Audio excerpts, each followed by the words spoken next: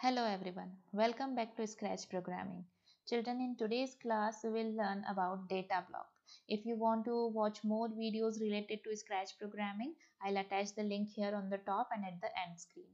So let's start. So here you can see our Scratch window. So I have already included two sprites here. I'll show you data data block okay here in the menu block uh, here in the block men blocks menu only motion look sound pen and data block. Now uh, let me add few motion blocks here. So okay so i'll add here points toward points toward my other sprite parrot 2 and it will go forever. And then again in motion it will move 10 steps. Okay so here children I have included few motion blocks here. Now I'll show you the data block. Now here in the data blocks children the first block is make a variable. Okay so I'll show you here make a variable only.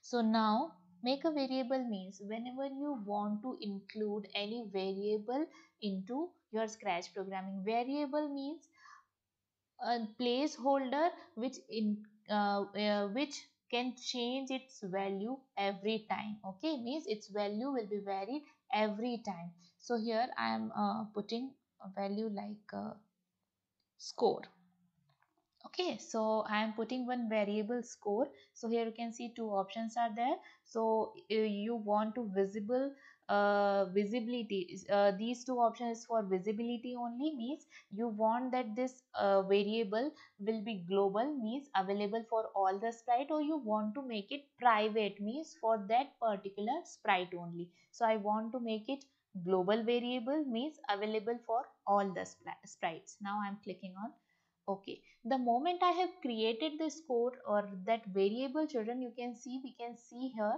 score uh, on the stage area okay now let's right click here. So here you can see children we have options.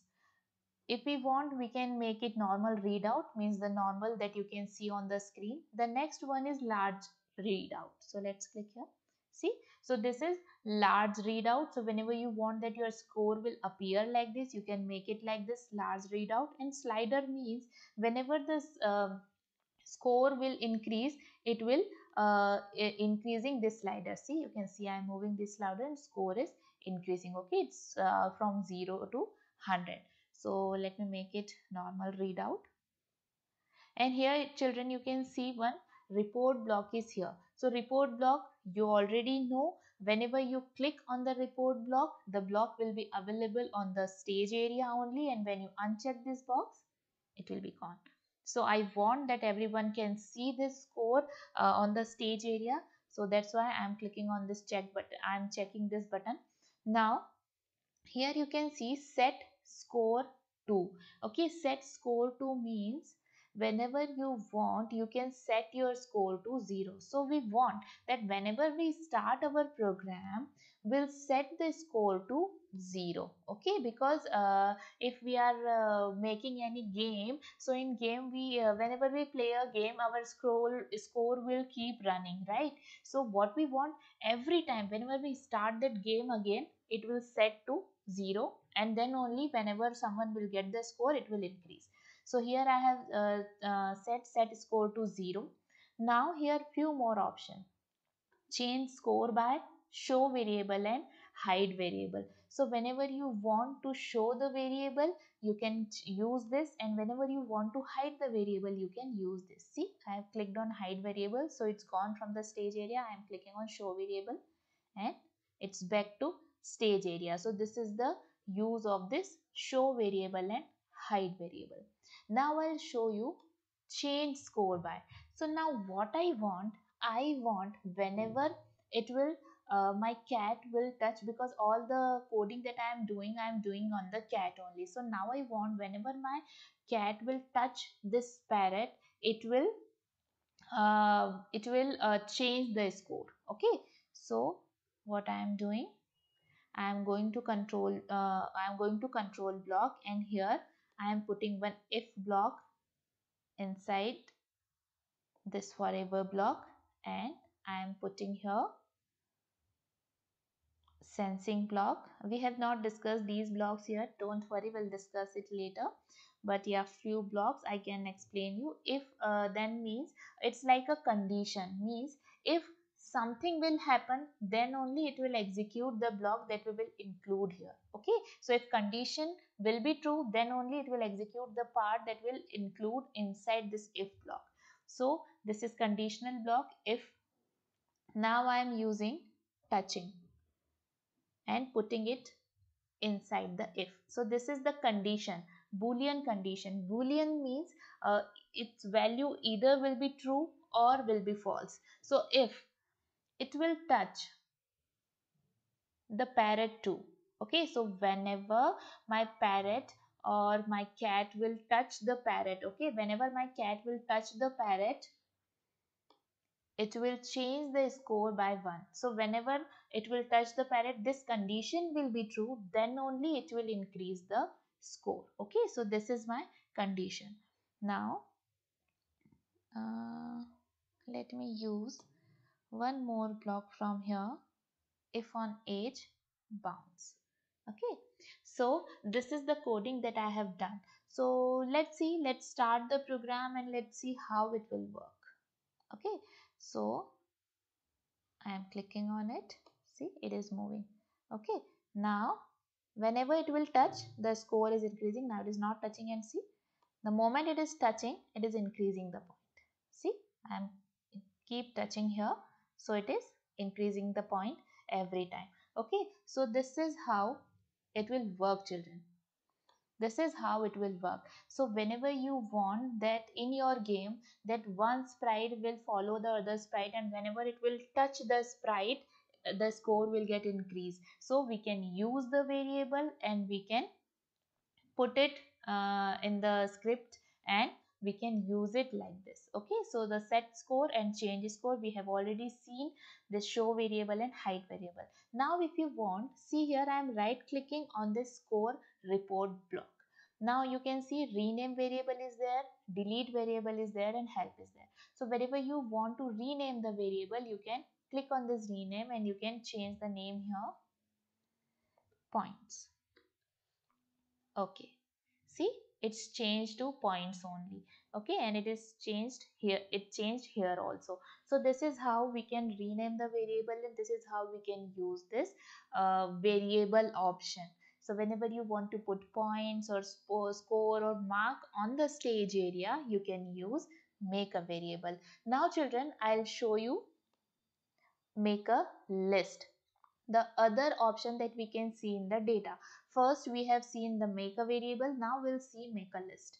Now click on make a list. Here, first, when list means a collection of something. Okay, collection of something means it uh, it can be a collection of fruit, it can be collection of books, it can be collection of uh, vegetables or anything, anything. Okay, so here we have list name. So I am including the list uh, fruits fruits okay this is my list name again you want to make it global or private global means it's visible for all and private means for this sprite only means it will be visible or available for that particular sprite. Other sprites cannot use this list.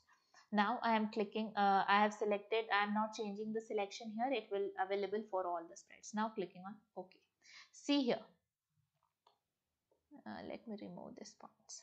Now at the moment when I click here, make a list, so many options are here. And the very first option that we can see the report block fruits.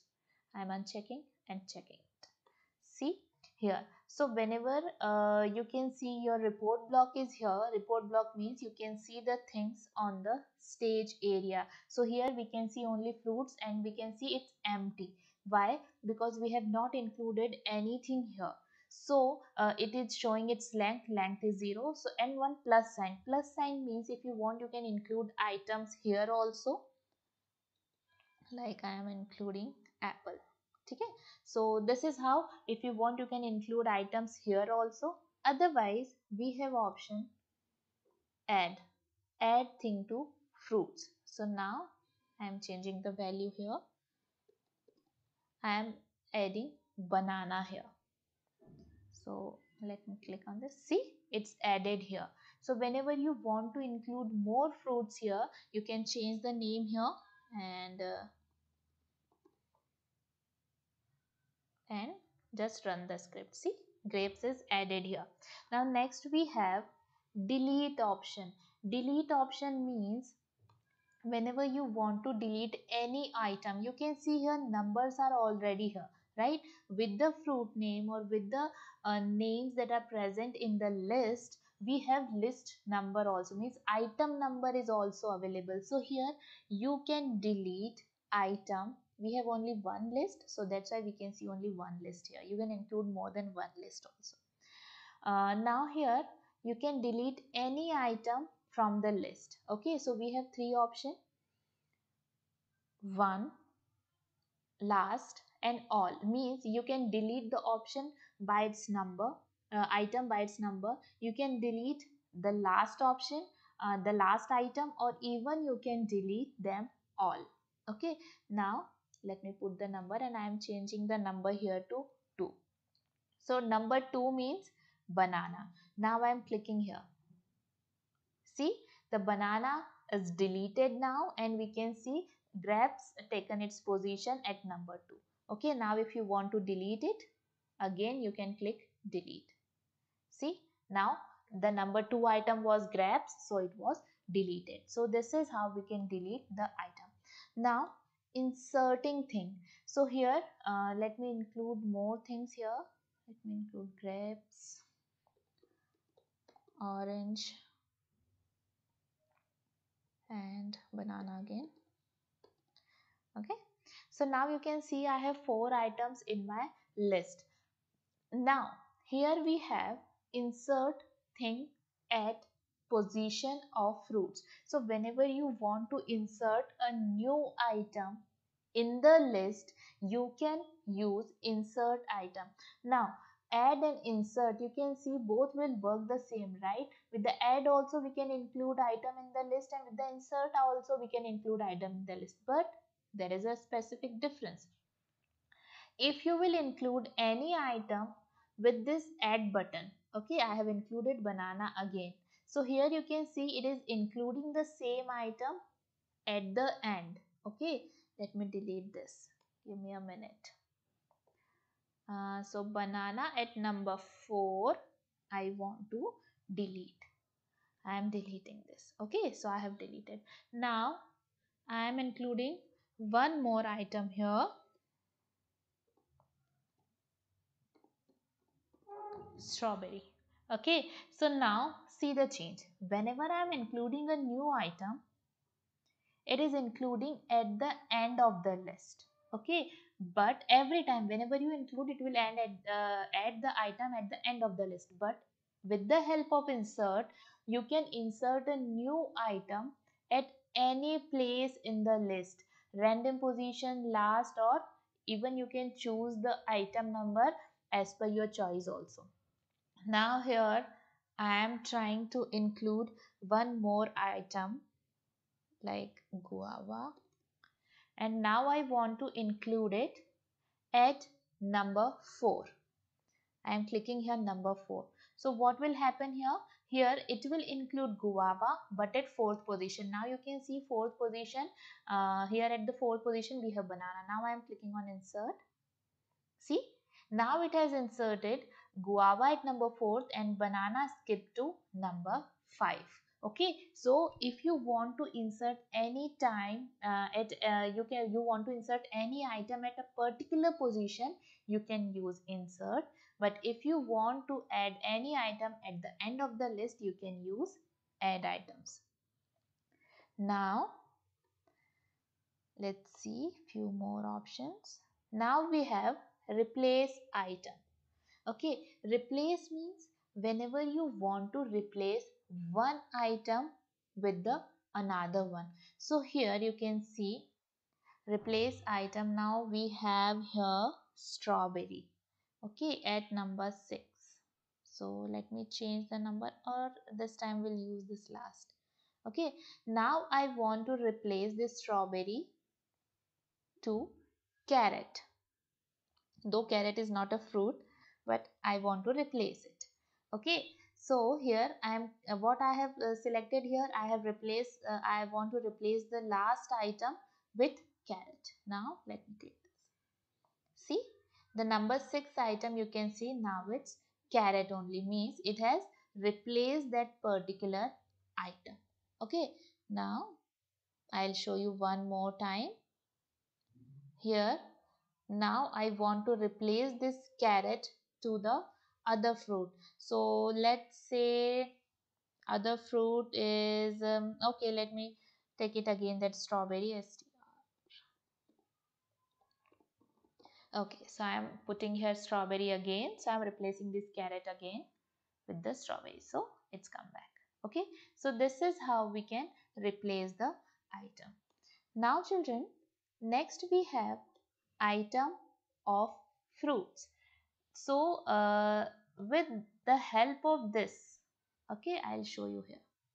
So it is showing me the name of that particular item which uh, which is uh, placed at certain locations. So here uh, you can see number one last and random is also available. So here i am changing the name and see.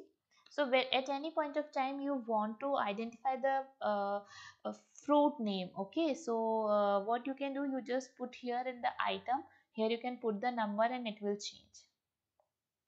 See? Like this. Okay? So at any point of time you want uh, to uh, to you want to get the name of that particular item which is placed at certain position or at certain number you can use this. So i'll show you here in the looks block. Let me add say hello and here I am putting this. Okay so see what it will uh, what it will show. Now I am clicking here and it is showing the uh, item name which is placed at number 2 now I am putting it random so it will randomly it will show any fruit so it is showing strawberry now let me change the number here to 4 so fourth position we have guava. So it is showing the same thing. So in this way we can use this report block uh, inside the say block also. Okay. So this is showing the name of the item which is placed at certain position or at certain number. Now just below this item we have length okay? So at any point of time you want to you want that your sprite will say the length of your uh, of your list okay? So length of the list means the total items that you have in the list. So in the list we have total six items. You can see length is here also. So see it is saying the length now okay? Now next we have fruit contains thing okay? So you can see uh, it's a kind of uh, hexagon. Hexagon means uh, this is the boolean block. Boolean block means i told you boolean block means which has only two values either true or false. So whenever we want to check the condition wait let me include something from control block so here you can see the same kind of uh, space you can see in this boolean in this conditional block if then. Okay? So this is for condition only. At any point of time you want to check that that particular thing is uh, in the list or not so you can check with this boolean block. Okay? So now i want that it will show uh, it will ask for the watermelon. Okay so now i want it will check whether watermelon is there or not. Okay so if watermelon is there it will say yes. Okay so if watermelon watermelon will be there then it will say yes. Okay let me take this one if else.